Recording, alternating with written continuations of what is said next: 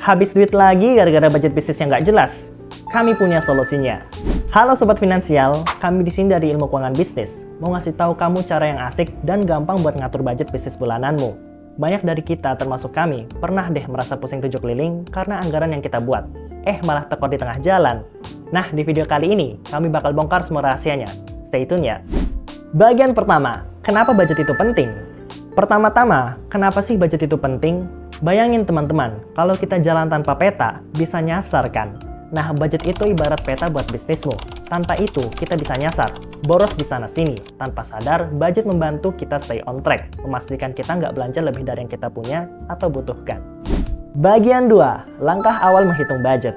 Langkah awalnya, kumpulin data finansialmu selama beberapa bulan terakhir. Ini seru loh, kamu bakal lihat ke mana saja duitmu pergi. Cek pemasukan, pengeluaran, sampai ke kebutuhan yang mungkin kamu abaikan. Ini penting supaya budget yang kita buat benar-benar realistis dan aplikatif.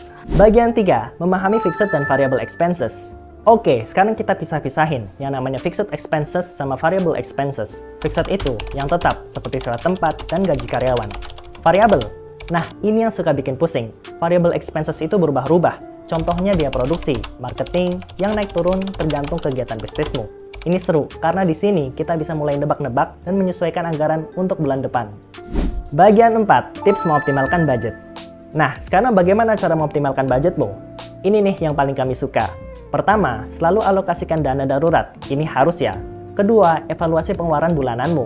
Kadang ada aja pengeluaran yang sebenarnya bisa kita kurangi atau bahkan eliminasi.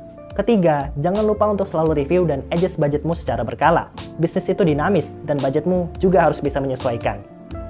So, Sobat Finansial, itulah tadi cara-cara menghitung dan mengoptimalkan budget bisnis bulananmu. Ingat, gak ada satu formula yang cocok untuk semua bisnis. Tapi, dengan mengikuti langkah-langkah yang tadi kita bahas, kamu pasti bisa membuat budget yang bukan hanya realistis, tapi juga efektif untuk bisnismu. Yuk kita coba terapkan dan lihat perbedaannya. Jangan lupa untuk like, share, dan subscribe channel kami, Ilmu Keuangan Bisnis, untuk tips-tips finansial bisnis yang lainnya. Sampai jumpa di video berikutnya. Belajar keuangan bisnis, jadi ilmu keuangan.